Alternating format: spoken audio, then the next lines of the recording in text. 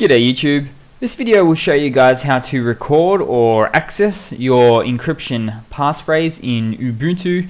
Now the reason why you might want this is because most of the time when people set up a new installation of Ubuntu they find that they encrypt their home uh, hard drive there or their home folder within their hard drive and uh, just say the operating system gets corrupted and you need to access those files later there is a step that you'll need to do and uh, this is always good to uh, get the, uh, the encryption uh, passphrase in order for later use and just write it down keep it somewhere safe but all you need to do to actually in order to actually get that passphrase is do the following so open up a terminal and type in ecrypt dash unwrap dash passphrase.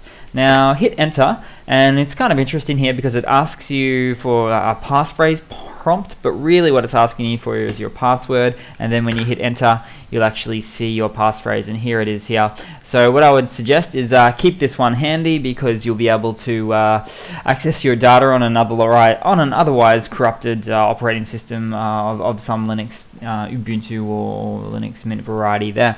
So that's pretty much it, guys. This is a very uh, specific video on a very specific thing. So the people that have searched for this might get a bit more use than the average watcher.